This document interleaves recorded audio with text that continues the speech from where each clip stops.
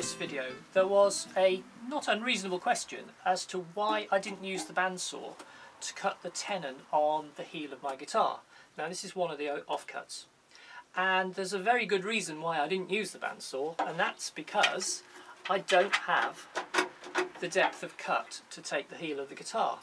Now this offcut, the heel, is nearly 10 centimetres deep but even if it was 9 centimetres deep I still wouldn't have the necessary depth of cut.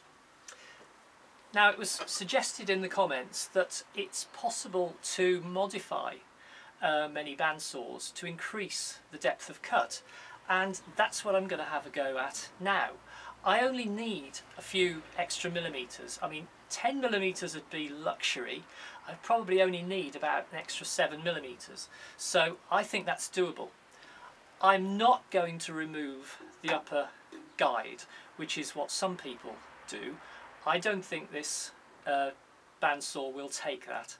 Um, if it was a better quality uh, bandsaw with, with a proper crown uh, wheel, um, you might get away with it. It's not something I'd recommend. I think it's extremely unsafe practice, but I have seen it done.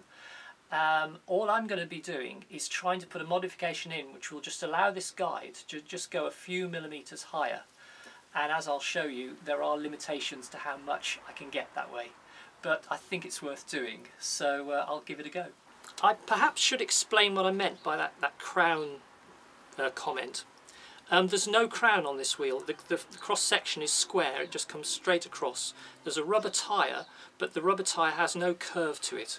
Uh, the wheel is, is, is just a rim really with a flat piece of rubber in the middle of it.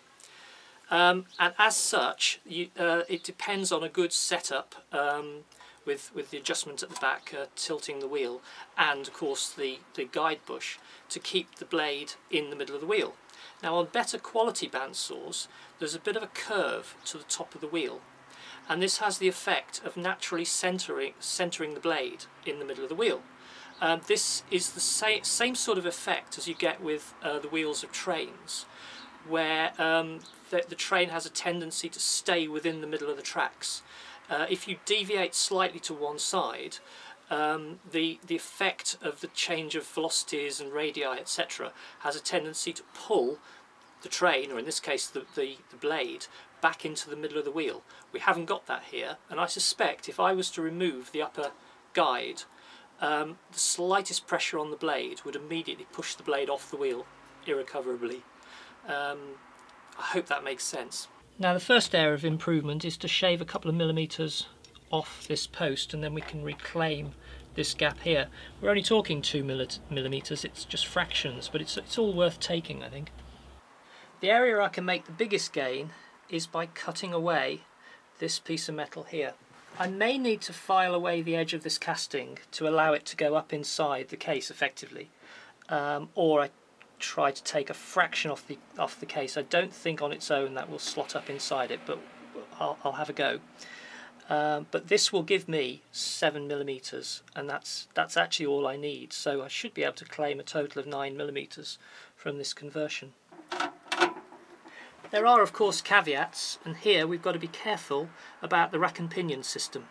But I've measured it and there's, there's enough um, extra extra rack. Um, the, the bottom of this is not going to go past the, uh, the centre of the um, cog inside. So we're okay. For the sake of just 7 millimeters that's fine. Any more and the cog would probably come off the end of the rack but the pinion come off the end of the rack but uh, we're okay. One thing we should consider is this cutout in the blade guide. Uh, at the top of its travel we're still about 10 millimeters away from the blade so we're okay there but that's something we need to, need to bear in mind if this is going to go a little bit higher.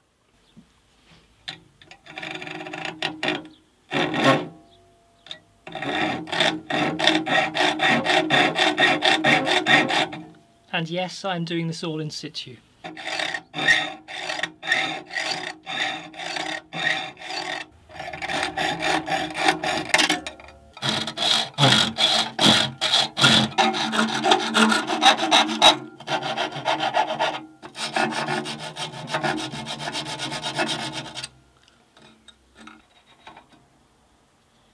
This next bit's the tricky thing because this is steel. I'm probably going to attack this with my uh, Proxxon Dremel style router uh, with a cutting tungsten cutting tip but this is enamelled and I don't want to attack it when it's all shiny and slippery so I think I will first of all try to create a groove in the surface using my file. Don't know how successful this will be. Uh, the answer, oh, very successful. I'm wondering whether I could actually cut all the way through like this.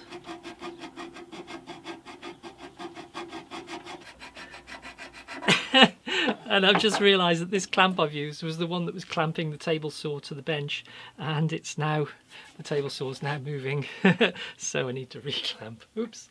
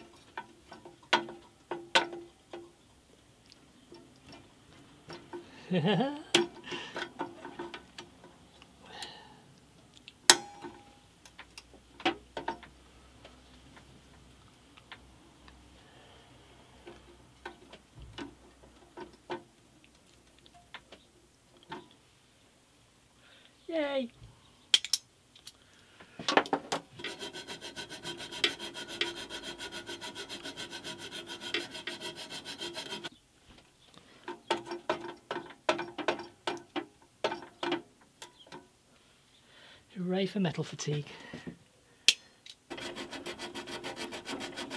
I've now just got to take off a tiny amount from the edge of this.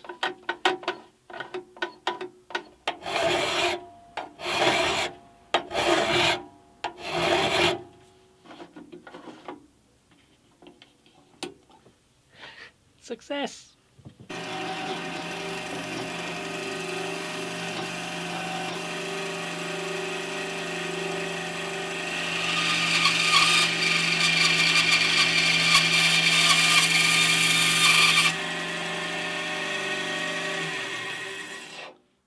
That was a lot easier than I thought it was going to be. No power tools and I didn't really have to expend that much energy using my hand tools. It all went remarkably well.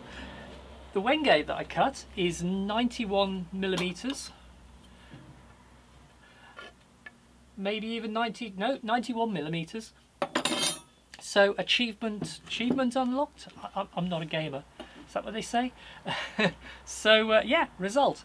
I didn't mention that this is a Scheppach HBS 20 bandsaw. I gather from the comments uh, when I feature this this bandsaw is that a lot of other bandsaws are the same. I think I think there's a lot of uh, rebadging going on. So it could be that your bandsaw um, this this procedure is equally applicable.